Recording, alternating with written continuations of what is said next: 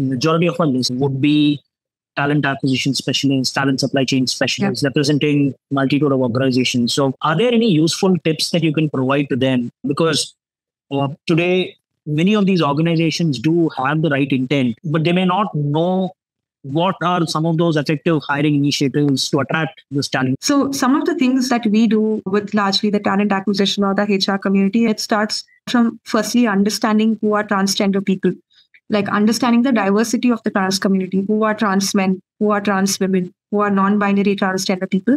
So, a lot of the organizations that we work with have buddy programs in place, they have specific mentorship programs in place.